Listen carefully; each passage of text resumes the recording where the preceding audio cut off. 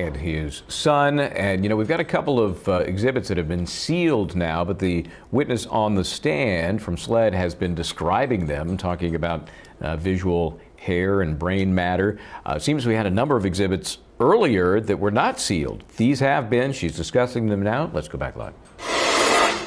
Something in the gravel that y'all inspected? Uh, yes, the at marker 13 that the sheriff's office had placed, uh, there was a, a, disturbance in the, the gravel um, area that we, we dug into that area. Um, we presumed it was a bullet strike where a bullet had hit, um, so we dug into that area. And did you find anything when you were looking? Yes, we found several um, metal fragments.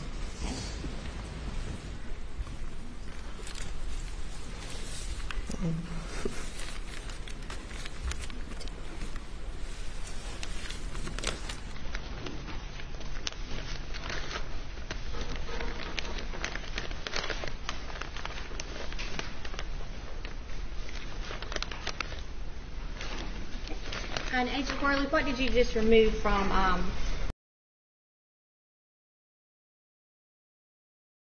baggie from the crime lab? These are the metal fragments that I collected from in the ground at marker 13. And how do you know those are the metal fragments you collected? Uh, they, they, look familiar. Uh, it's my handwriting on the envelope, uh, date, time, and initials when I collected it, and my initials on the seal.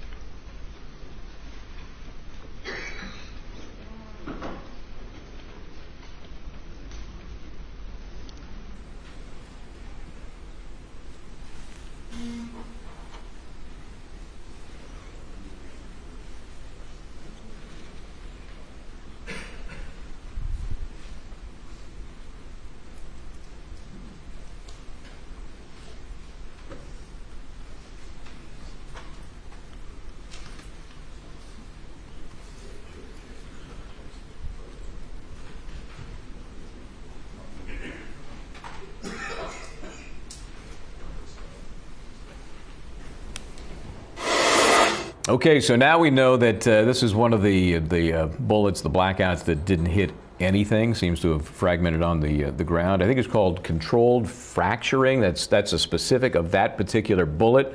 Uh, Richard Schoenstein is here. Katherine Lizardo. Good to have you guys along here. Uh, you know this ballistic stuff, uh, Katherine. You know it's so important, and and for the true CSI geeks, they're loving it.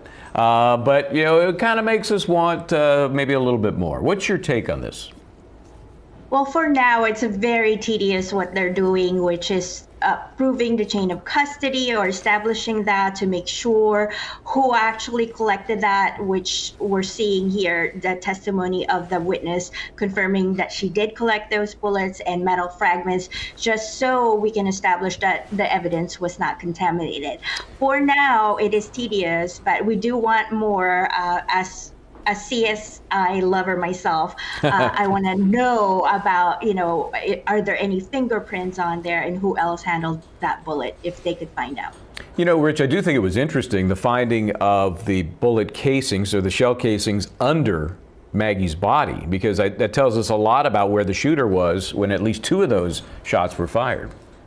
That is interesting, Michael, and you can kind of spin that either way. Either because it's a much more personal killing if the murder happened up close like that, and you can say maybe that be more unlikely that Alec Murdaugh would do that. But my big takeaway here from what I'm seeing today and yesterday is this is a hard case for the prosecution. You know, their motive theory doesn't is doesn't blow me away.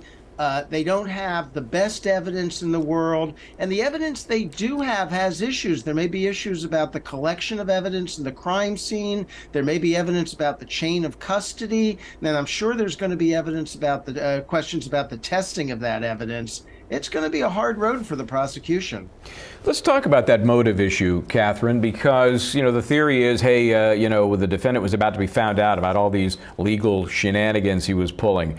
But it's not a typical murder motive where maybe there's a big insurance policy uh, or, or there's some other reason. Maybe somebody's going to rat somebody out, even though it, it, looked like maybe they could have helped those making fraud claims against Alec Murdaugh. Um, but, but the motive just, just, just doesn't really seem that, uh, that good at first blush, it seems like it's out of proportion because, like you mentioned, the motive allegedly is that he wanted to steer away the attention from his fraud cases to uh, to this type of murder. So basically, distract people from what he committed. At first blush, it seems like it is far fetched, but then when you start realizing how many uh, charges are against him and his family, yeah, you know, it's uh, obviously it's developing. It's developing. Hey, let me uh, thank and excuse Rich Schoenstein. Thank you so much, sir. Good to see you, Katherine Lizardo. As always, a pleasure. That's going to do it for me, Michael Bryant. I didn't get to my chart, so come over to my house. We'll look at them this weekend.